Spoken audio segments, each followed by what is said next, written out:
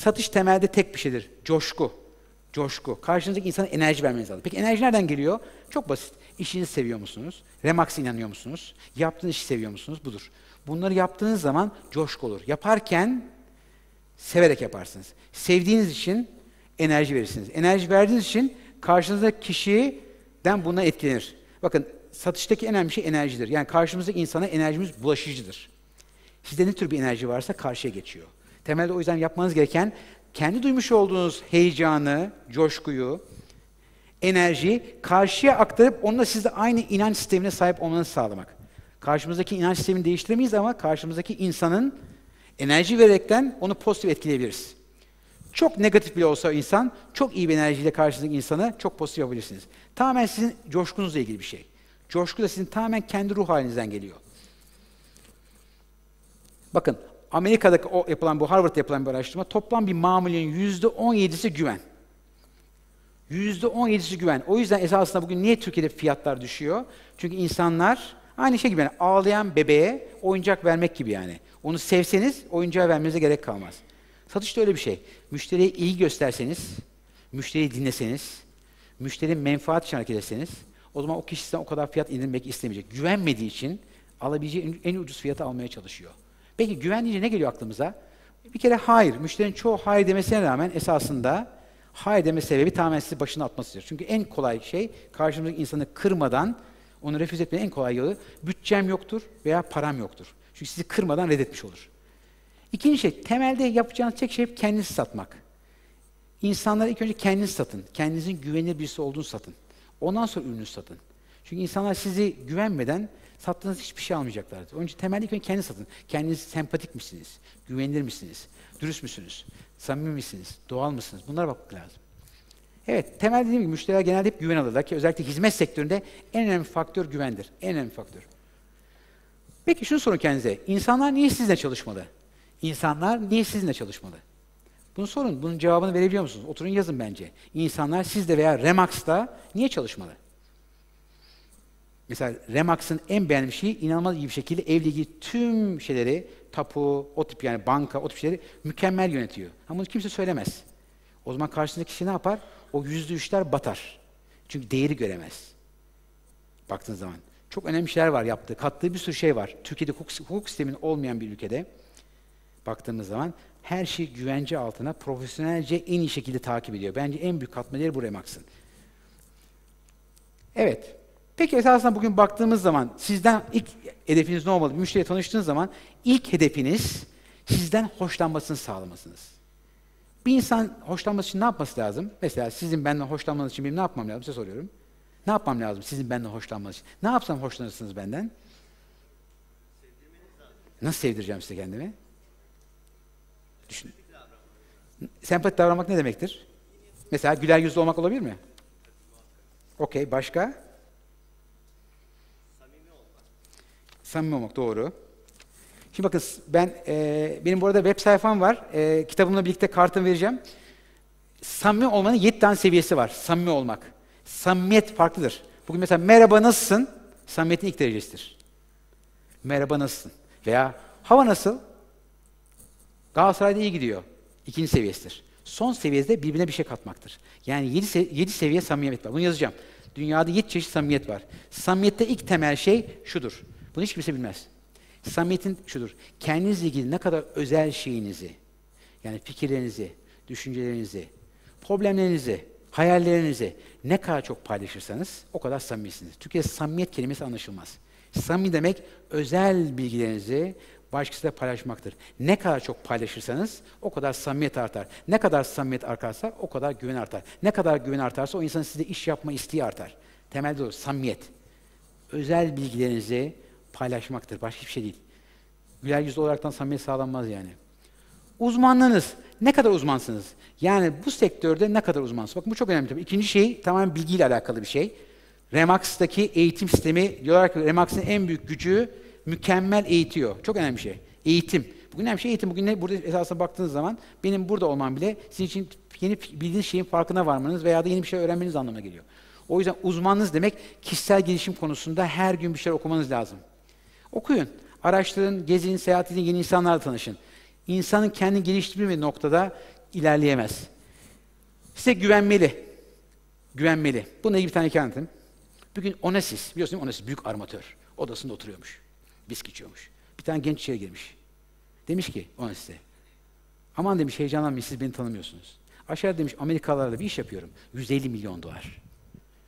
Bana yardımcı olur musunuz? Yok yok demiş ben sana borç para vermem Onassis. Yok yok demiş ben borç para istemiyorum.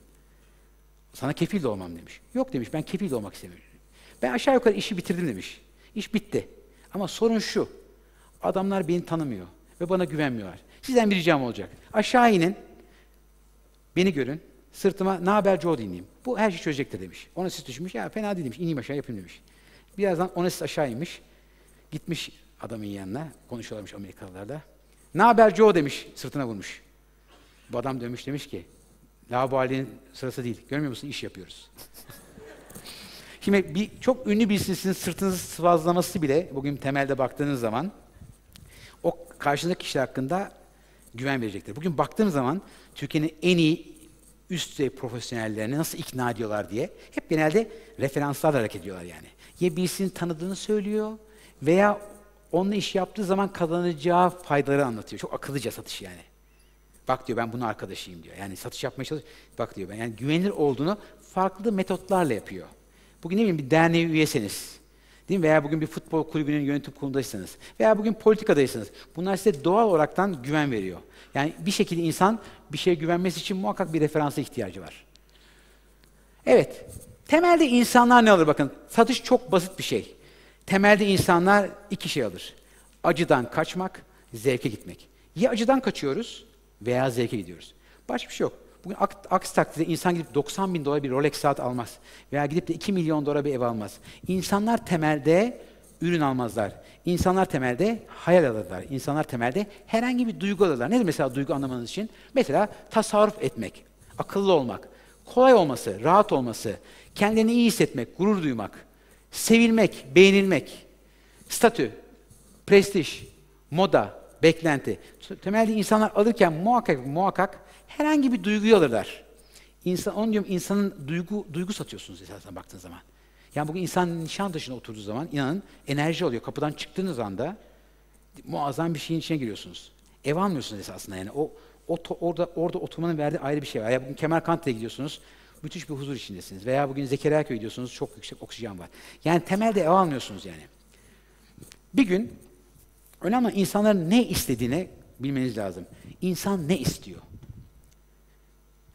Bir gün bir emlak satıcısı e, müşterisi demiş ki ben demiş bir ev almak istiyorum.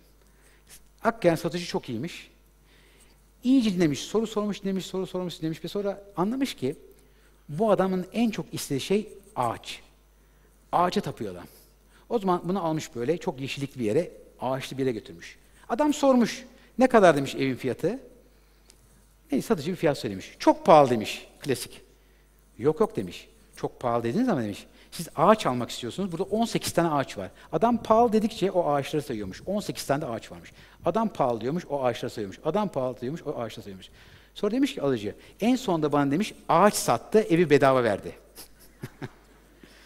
o yüzden insanların ne istediğini bilirseniz ona odaklanın çok fazla şey satmaya çalışmayın bakın. İnsanın en büyük yaptığı hata her şeyi satmaya çalışmak. Yani ya ağaç satın, ya manzara satın, ya komşu satın, bir şey satın ama kesinlikle her şeyi satmayın. Müşteriyi iyice dinleyin. Ne istiyorsa, ne istiyorsa ona odaklanın ve onun üzerine gidin.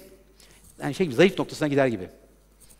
Evet, bugün baktığımız zaman insanlar hep fiyat alırlar. Bakın, fiyat etikettir. İnsanlar fiyat almazlar. Hiçbir insan dünyada bir şeyin fiyatını almaz. Fiyat görünendir. Yani mukayese edebileceğim bir şey. Ama insanlar esasında baktığımız zaman değer alırlar. Değer. Değer nedir esasında? Kalite, kullanılabilir yarar, hizmet bölü fiyattır. Yani bir şeyin kalitesi, yararı ve hizmeti ne kadar iyi olursa fiyattaki fiyat baskısı o kadar azalır.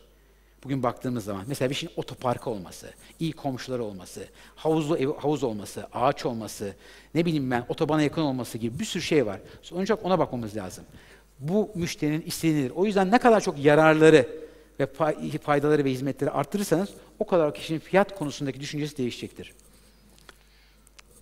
Evet. Ben hiç hayatta satış yapmadım bakın. Ben hiç satış yapmam. Ben tek şey, ben karşımızdaki insanı konuşturmaya çalışırım. Zayıf noktasını bulmaya çalışırım. Nerede yani? En büyük duygusu nerede değil mi? İnsanlar ya acı alır, acıdan kaçarlar veya zevke giderler. Benim genelde Türkiye'de insana acı, acı daha iyi çalışıyor. Acı şu demektir aslında. O evi almadığı zaman ne kaybedecektir? O evi almadığı zaman ne kaybedecektir? Acı orası. Zevk de olabilir. Adam stat olabilir.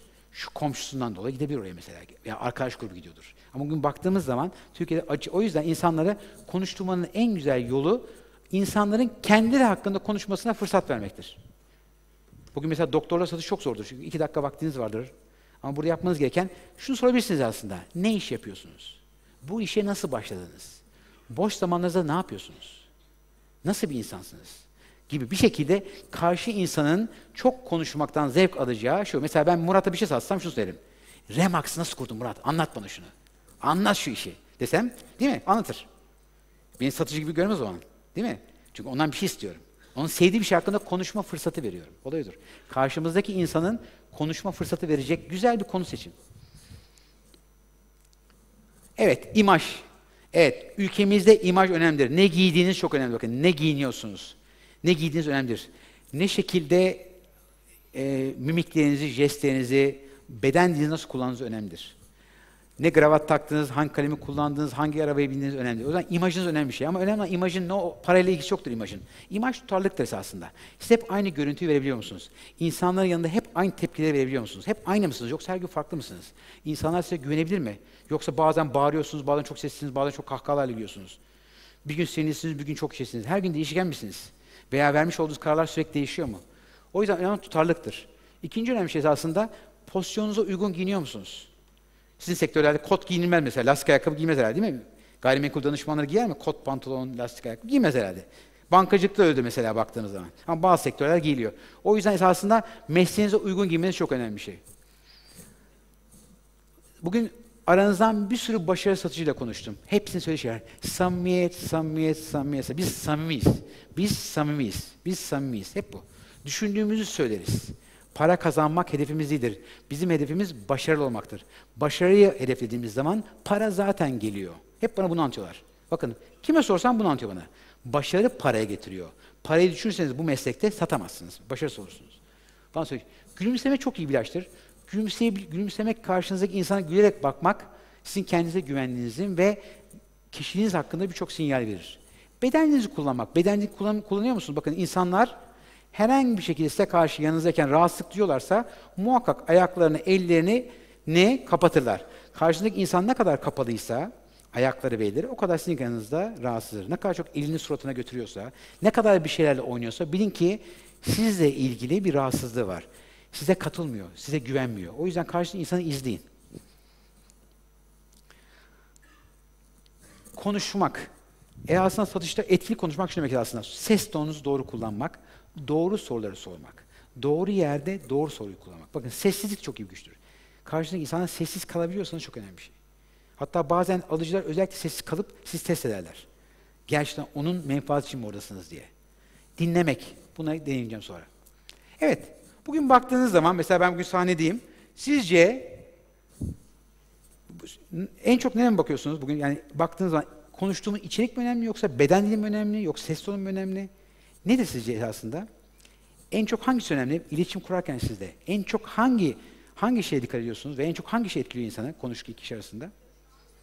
Evet, bugün baktığımda bir olaraktan beden dilimiz. Yüzde 55. Yani bir insan bir insanla konuşurken yüzde 55 beden dili. O yüzden beden dilimizi çok düzgün kullanmamız lazım. Çünkü bugün herhangi bir şey yaparken beden diliniz önce reaksiyon gösterir. Yani bir şey söylemediğiniz dikkat edin. Elleriniz, kollarınız sözünüzden önce gider. Ben bir şey istemiyorum, istemiyorum dersin, önce eliniz kalkar. El kalkar sonra istemiyorum dersin. Yani her zaman için beden diliniz siz konuşmanızdan önce gelir. İkinci baktığımız zaman ses tonunuz. Ses tonu duyguları yansıtır. O yüzden ses tonunuzu çok iyi bilmeniz lazım. Çünkü ses tonunuzu kontrol etmezseniz karşınıza çok kötü açık verirsiniz. İçerik yüzde yedi. O kadar az. Yani konuştuğumuz şeyin içeriği esasında ne kadar az? Yüzde doksan tamamen sözel olmayan şeyler. İlk izlenim. Görüntü. Bugün 7 saniye içinde karşınızdaki insan sizin hakkınızda karar veriyor. 7 saniye. 7 saniye içinde güvenilir olup olmadığınızı sizde çalışıp çalışmayacağını karar veriyor. Bunun için ilk izlenimde görüntünüz çok önemli bir şey. Profesyonel görüntü, dik durmak, hızlı yürümek, göze bakmak, gülümsemek. Dik durmak, hızlı yürümek, göze bakmak, gülümsemek. Dört tane şey yapmanız gerekiyor. Dik durun bir kere bakın. Dik durursanız, dik durursanız enerji gelir. Bakın şöyle dik durun. Dik durun hemen. Omuzunuzu yapın. Hemen enerjiniz gelir. Beden hep çünkü böyledir. Dik durmanız lazım. Hızlı yürüyün. Gülümseyin. Gülümsemeyi alışkanlık haline getirin. Evet. Konuşma yine az. Baktığınız. Demek ki görüntümüz, beden dilimiz her şeyin önünde. İlk izlenimi değiştirmek çok zordur. İlk izlenimde mümkün olduğu kadar olumlu olmanız lazım. İlk izlenimde önemli şey nedir esasında baktığımız zaman? El sıkışmak. El sıkışmak. Bakın Türkiye'de kimse el sıkışmasını bilmez. Bir el sıkışalım. Sizlerle el sıkışalım. Şöyle biraz daha tamam. Siz de sıkışalım. Evet. Siz de çok güzel. Siz güzel. Siz evet siz. Ben sizi sahneye alayım. Bir göstereyim sana. Şimdi çoğu insan el sıkışmasını bilmiyor. Nasıl el sıkışı göstereyim. Şimdi bakın el sıkışma yaptığınız zaman üç tane şey var. Merhaba. Bir, biraz daha şöyle avuç avuç değil, şu bu, bu esası. İkinci yapmamız gereken göz teması. Yani bir şey elinizi tuttuğunuz zaman muhakkak göz göze geliyorsunuz. Hafif öne eğiliyorsunuz. Bakın dik duruyorsunuz. Hafif öne eğilin. Şöyle hafif inlemeden. Garson gibi değil ama şöyle hafif bükülmeniz lazım. Ve güleceksiniz. Yani el sıkışıyoruz, göze bakıyoruz, gülümsüyoruz, hafif öne eğiliyoruz. Teşekkür ederim. Ve bunu yaparken dinamik yapın. Yani birisinin odasına girdiğiniz zaman şöyle hızlı hızlı yürüyün. İlk elinizi siz verin. Göze bakın, gülümseyin, hafif dizinizi kırın. Çok, çok etkisi olacaktır. Çoğu insan balık eli verir biliyorsunuz. Elini vermez yani. Ama güvenli, dengeli el sıkışı önemlidir. Bir sürü el sıkışı var ama temelde bunu gülümseyerek, göze bakarak ve öne eğilerek yaparsanız karşınız üzerinize çok güzel etkisi olur. Evet, dinlemek. Değil mi? Bu kadar bir kulağımız yok ama. Şimdi dinlemek dünyanın en zor işi. Çünkü dinlemek konuşmaktan daha yorucu. Yani dinlerken konuşmaya göre daha fazla enerji harcıyoruz. O yüzden zor. İkinci zorluğu söyleyeyim ben size. İkinci zorluğu, insanın beyni 400-600 kelime kapasitede fakat konuşma hızımız 150-200. Yani şu demektir, insanın beyni konuşma hızına göre 4 kat daha hızlı çalışıyor. O yüzden ne oluyoruz?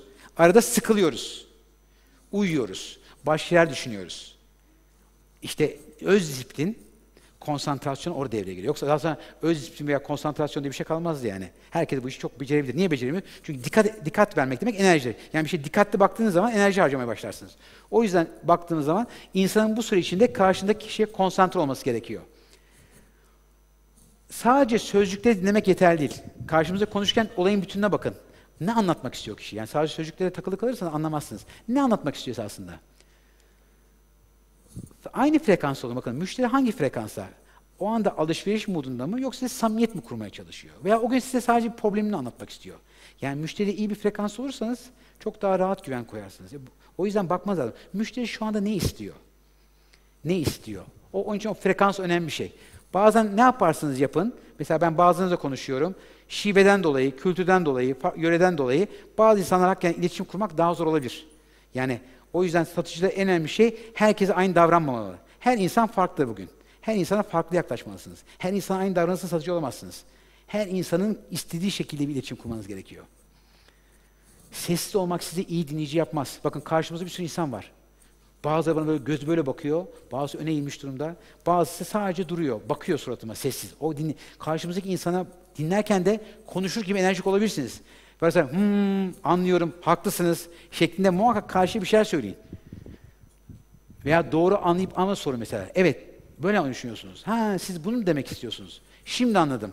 Veya özetleyecek olursak şeklinde muhakkak geri bildirim de yapın sadece dinlerken. Karşıyı anladığınızı teyit edin. Karşıyı dinlediğinizi teyit edin. Karşıya ilgi duyduğunuzu belli edin. İnsanlar ona bakıyor zaten dinlerken. Sadece sizin kulağınızı vermenize bakmıyor yani. Karşımdaki insan gerçekten beni ilgi dinliyor mu? Ön yargılardan kurtulmanız gerekiyor. Esasında satışta önemli şey hep ön yargılarımız vardır. Değerlerimiz vardır, inançlarımız var. Ama bütün şey karşımızdaki insana yüz yüzümüzü vermemiz gerekiyor. Yüzü yüzümüzü verdiğimiz zaman karşımızdaki insan da size yüzde yüz bilgiyi verir. O yüzden baktığımız zaman her zaman için kendi görüşleriniz, değerleriniz, ön yargılarınızı şey yapın. Çünkü çoğu insan bazen fiziksel kusurlardan bile karşıdan etkilenebiliyor. Evet, sabır demiştik zaten. Evet, şimdi bugün baktığımız zaman iki tane slide kaldı benim kitabım Satış 16 Kuralı esasında bu 10 hayat felsefe. Ben şunu inanıyorum esasında. Bir insanı insan yapan hayattaki amacını anlaması ve hayattaki değerleridir. Hayatın amacına ve değerlerini doğru oturtamazsanız hayatınız boyunca mutsuz olursunuz. Yani bugün çocuklarınız derseniz hayat, çocuklarınız gittiği zaman mutsuz olursunuz. Para derseniz paraya çok kavuşursanız olursunuz. Bugün Henry Ford demişler ki ya demişler sen bu kadar parayı ne yapacaksın demişler. Ne yapacaksın bu kadar parayı? Dönmüş demiş ki Henry gazetecilere. Ya ne yapayım alışkanlık oldu bırakamıyorum. Yani insan insanın iyi alışkanlıkları kötü alışkanlıkları. Tamamen hayat bunun üzerine, alışkanlıklar üzerine. O yüzden baktığınız zaman ama değerler farklı bir şey. Değerleriniz ve prensipleriniz olursa sizi sağlam yapar, duruşunuz olur. Her zaman için bunlar gelir ve belli şeyler konusunda yanlış yanlış yola gitmenizi engeller. Mesela benim en çok inandığım şey kendinizi sevin diyorum mesela. Bu çok klasik bir şey ama insanın kendinizi sevmesi. Sevmek ne demek esasında çok basit bir şey. Zayıf yönlerinizi kabul etmek. Zayıf yönleriniz insanın mükemmel olmadığını kabul etmek. Güçlü yanlarımızı daha iyi hale getireceğimizi bilmek. Ama önemli şu, kendi kusurlarınızı kabul etmeniz. Bu kadar basit. Kusurunuzu kabul edin. Hiçbir insan mükemmeldir. Önemli güçlü yanlarımızı üzerine gitmemiz gerekiyor. Bununla ilgili harika bir hikayem var. Bir gün Japonya'da bir iş adamı oğlunun çok meşhur bir judo, judo olmasını istiyormuş. Fakat şansa o gün trafik kazası getirmiş oğlu. Ve bir kolunu kaybetmiş. Ama yine babası vazgeçmemiş ve oğlunu Japonya'nın en ünlü judo hocasına götürmüş. Adam demiş ki ben bunu şampiyon yaparım. E okey demiş. Çocuğa, çocuğun bir tane kolu varmış ve çocuğa o hareketi öğretmeye başlamış. Tek hareket. Üç ay geçmiş, altı ay geçmiş, dokuz ay geçmiş. Artık artık bir sene sonra artık artık düşünmeden yapmaya başlamış her şeyi. Ve hocasının yanına gitmiş demiş ben sıkıldım bu hareketten demiş. Bana başka bir şey öğret. Yok demiş sen devam et. Bir sene daha geçmiş. Bir sene sonra hoca çağırmış. Tamam demiş sen müsabakaya çıkıyorsun. Hocam demiş nasıl olur demiş. Benim bir tane kolum var. Tek bir hareket biliyorum. Nasıl yapacağım bunu? Sen merak etme demiş. Adam çıkmış şeye. İlk önce yenmiş. Birinci, ikinci, üçüncü, dördüncü yenmiş. Sonra dünyanın en ünlü judo şampiyonu gelmiş. 10 yıldır yenilmiyor. Demiş ki çocuk, tamam demiş hocam demiş ben çıkamayacağım demiş. Yani ben imkan yok yenemeyeceğim demiş. Çıkmak istemiyorum demiş. Teşekkür ederim demiş. Yok yok demiş. Sen çık kazanacaksın. Neyse çocuk çıkmış. Bu 10 yıllık şampiyonla dövüşmüş ve yenmiş. Çocuk şok olmuş. Hemen kocasının yanına koşmuş. Hocam demiş. Nasıl olur demiş. Tek kolum var, tek hareket biliyorum. Nasıl yendim ben bunu demiş. Çok basit demiş. Ben sana bir hareket öğrettim. Ve o hareketi dünyada en iyi sen yapıyorsun. O hareketi senden daha iyi yapan yeryüzünde bir insan kalmadı demiş. İki demiş. Seni yenebilmek için demiş, karşındaki dövüşçünün senin olmayan kolunu tutması lazım demiş. Tamam. O yüzden baktığımızda her insanın zaafı aslında gücüdür. Zaaf mesela iyi konuşamazsak iyi dinleriz. Örnek olaraktan. Yani insanın muhakkak her insana Allah eşit yaratmış yani. Bir zayıflığımız esasında bizim gücümüz. Baktın. Onun için insanın her dakika için kendisiyle ilgili güven, güvenmesi meselesi önemli. Sağlıklı yaşayın. Çoğu insan sabah kahvaltısını atlar. Spor yapmaz. Kaç kişi burada düzenli spor yapıyor? Haftada üç gün ve sonra üç günden üç gün ve daha fazla. Az, çok az yani. Spor önemli bir şey. Çünkü spor bisiklet gibidir bakın. Ben mesela dört buçuk beş saatte yaşıyorum uyku olaraktan. Ama sabah yedi yedi buçukta spora gidebiliyorum. Çünkü spora başladıktan sonra o salgı size enerji verir. Ne kadar yorgun olursanız olun, başlama bir şeye başlarsanız ondan sonra yorgunluğunuz kalmaz. Önemli başlayabilmektir. Yani başlayacak iradeyi gösterebilmektir. Beslenmek enerji verir. Pozitif olun. Pozitif olmak demek dediğim gibi iyileri görebilmek. İnsanlarda, dünyada ne varsa hep iyi görebilmek. Sahip olduğumuzun değerini bilebilmek. Evet, ailemize ve dostlarımıza çok zaman harcamak. Çünkü bugün baktığımız zaman bu hızlı tempoda çoğu şey insanlar yaşamıyorlar. Facebook toplumu olduk. 16 milyon Facebook var burada. İnanılmaz. Ama bugün baktığımız zaman aile ve yakın dostları her zaman için bizim enerjimizdir. Aynı yemek gibi, aynı e, spor yapmak gibi. Zaman. Zamanı iyi değerlendirin. Ben zamanı şöyle kullanıyorum. Mesela öğlen yemeklerine muhakkak müşteri alırım. Sabah kahvaltısına müşteri alırım. Ben 25-26 yaşında satıcıyken şöyle bir şey öğrenmiştim. Herhalde bunu William Smith var. Onun filmi var çok güzel. Ee, Pursuit of Happiness diye, mutluluğun peşinde bir kitabı var. Yani bugün satış içindeyseniz muhakkak iki tane film var seyretmeniz gereken. Bir tanesi Glenn Ross, ee, çok eski bir emlak filmi ama çok enteresan. Hatta oynatacaktım burada, sürem çok kısa yoksa onu oynatacaktım burada. Bir de per, e, Mutluluğun Peşinde diye William Smith'in film var. Orada satıcıda yani onu gerçekten izleyin yani. Hani tam adrenalin baktığımız zaman.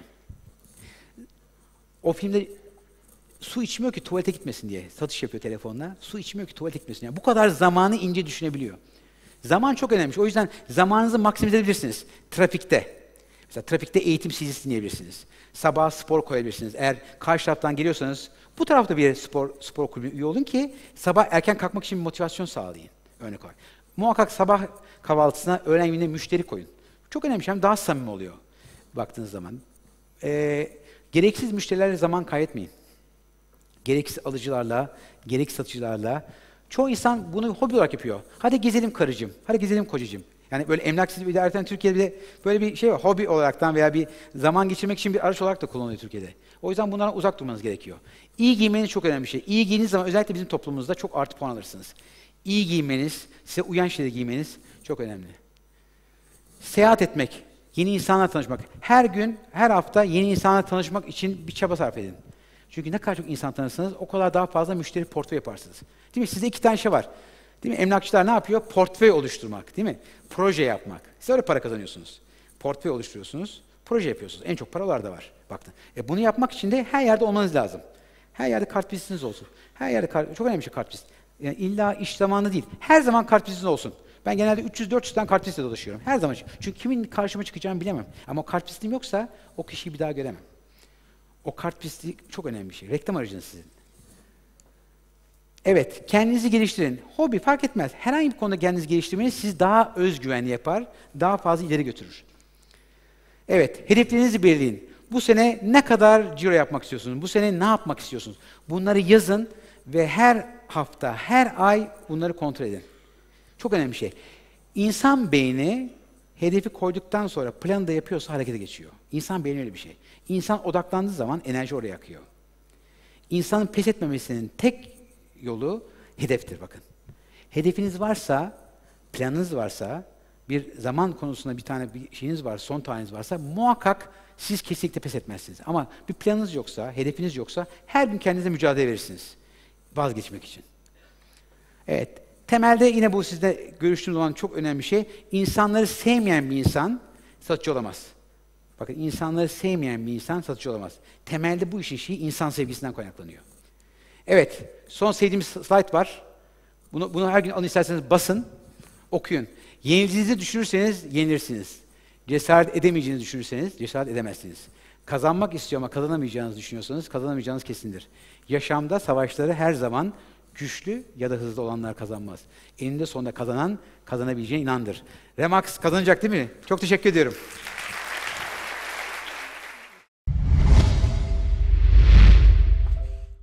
Eğer bu videomu beğendiyseniz diğer videolarımı takip etmek için abone olmayı unutmayınız.